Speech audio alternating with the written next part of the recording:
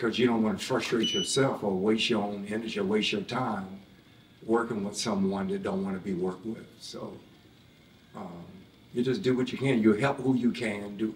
Then you have to have some discernment. You know, uh, everything is not ripe and ready right now, so you don't pull it from the tree. Um, so you have to discern who's ready, who's prepared to receive what you have to offer. And so when I stand on a Sunday morning, it's a whole mixed bunch in the crowd. And I can't be concerned about those who don't want it. I got to dial in for those who do.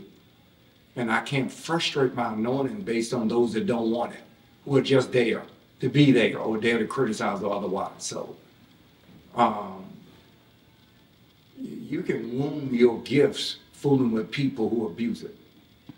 That's why the Bible says don't cast pearls before swine.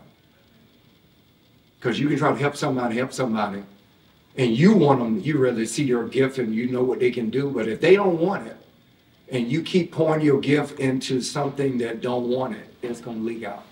You're just wasting your time, and it's going to wound your gift, wound your anointing, wound, you know, whatever you have to offer.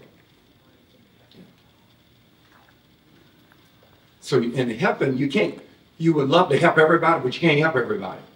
That's why you have to kind of discern and see who you really can help and who you can't.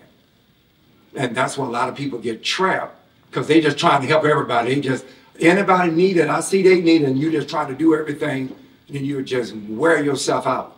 Then when somebody who really needs help come around, you wore out. You're drained. You have nothing to give because you wasted it on the wrong people.